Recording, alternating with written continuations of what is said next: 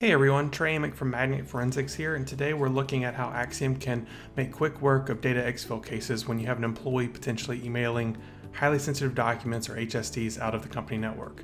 In this case, we've already acquired two Microsoft Office 365 accounts, which include information such as email, OneDrive content, SharePoint information, and audit logs.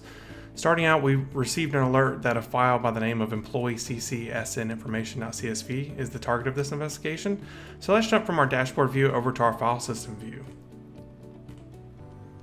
As you can see, we have uh, two zip files, which are our two Office 365 accounts. When Axiom acquires data from cloud accounts, the data is protected in a zip. So to filter on our data, let's just run a quick search for employee and see what we get.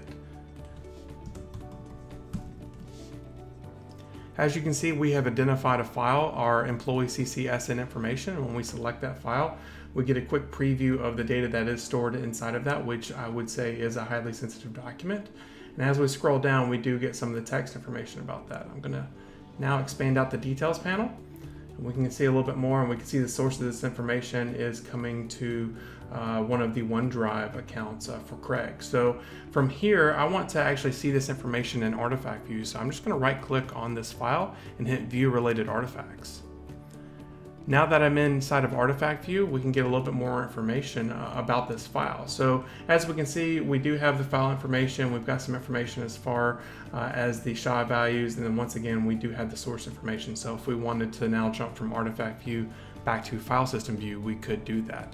But now that we have identified this file, I'm going to actually right click on it and I'm going to go ahead and add a quick tag for this information so I can report on that later. But I'm going to clear this tag out now and I'm actually going to run the same search, just typing in employee inside of artifact view.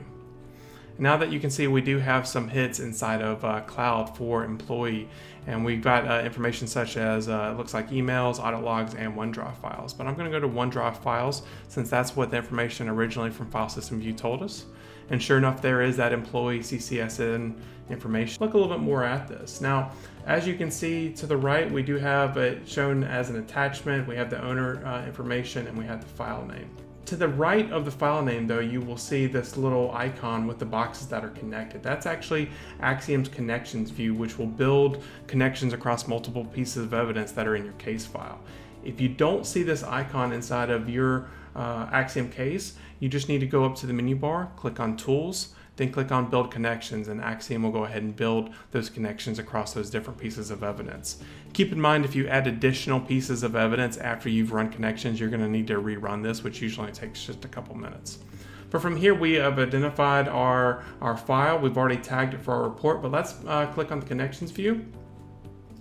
And now as you can see, Axiom has created a quick uh, graphical representation of everywhere it's found this file uh, between the two different Office 365 accounts that we've added in here. And as I start moving this around, you can see it was posted uh, to uh, Craig's account. We've got obviously several pieces with the hash values.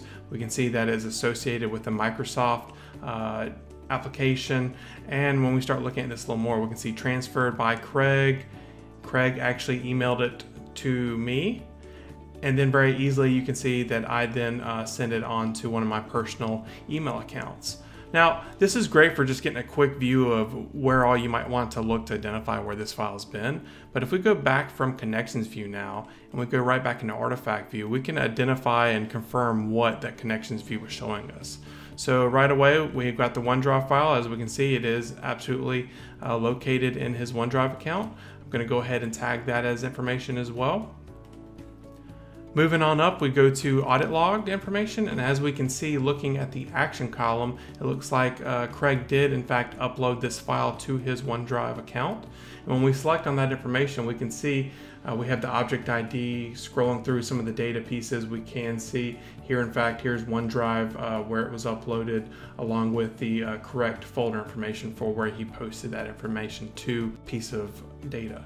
I'm going to go ahead and select these and actually add this to my report as well for our audit log information. And lastly, I'm going to move up to the emails. Now, as we can see here, we have sender information of Craig, sent myself an email, uh, reference vacation, but when we actually get the preview of that, we can get an idea of what the discussion was for this particular uh, email thread. And as we look, we have the attachments uh, piece as well. When we select that, we actually do get the preview of that document. As we scroll down, we get all the body of that uh, document as well for the email, and we can see the IP addresses along with uh, the information as far as when that uh, email was sent. Now, next on the list though, we can see here's where I sent and forwarded that email onto myself with that highly sensitive document. So now we very easily have identified that Craig in fact emailed me that document and then I went ahead and hit the forward button and moved that document outside the confines of my uh, internal company. So I hope this uh, quick overview shows how connections and Axiom can make uh, quick work and help you visualize the data across uh, multiple pieces of evidence. Thanks for watching. See you next time.